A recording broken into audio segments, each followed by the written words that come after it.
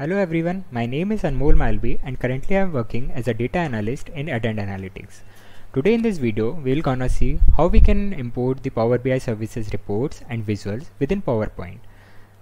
So to do this, one prerequisite is you should have the Power BI Pro or Premium license.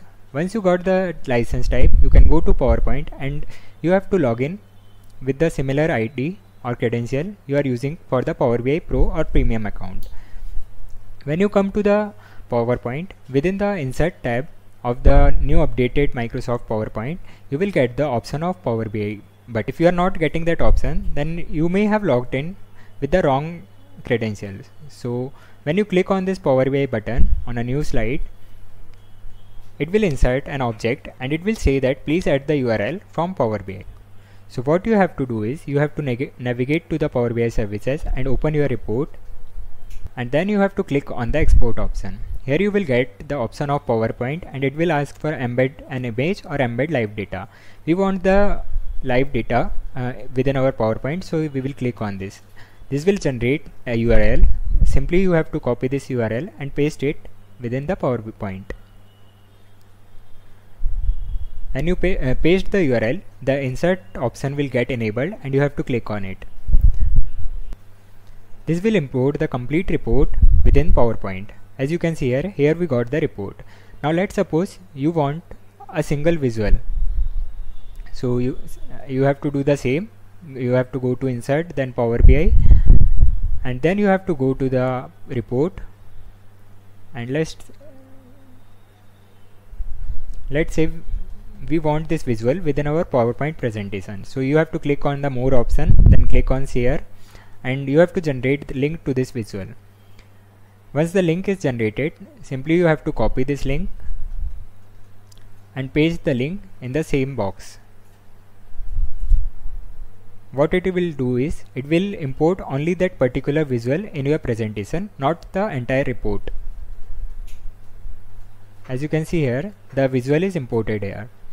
Now you might be thinking, okay, this looks good, but isn't this just a graphic? Well no, this is the full report or visual that I have pasted. So if I go back into this particular report, I can click on any item within this report.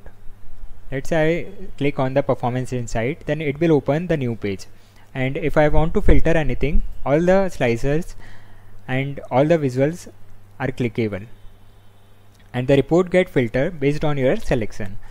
So this is the new update where we get the entire report within the Power, uh, PowerPoint presentation. You also get menu option here in the right corner.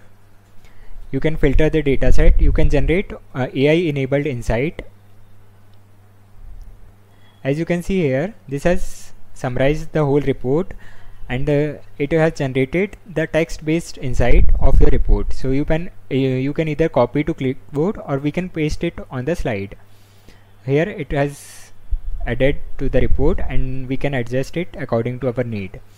Next thing we have is we can refresh the uh, data and get the latest data from the Power BI and uh, we can also reset the original item view. If you have applied any filter then it will uh, reset it all and take you to the home page. Apart from this you can add out outline to the report. Next you will get the option to clear data. It will remove the report. And then you got the filter tab.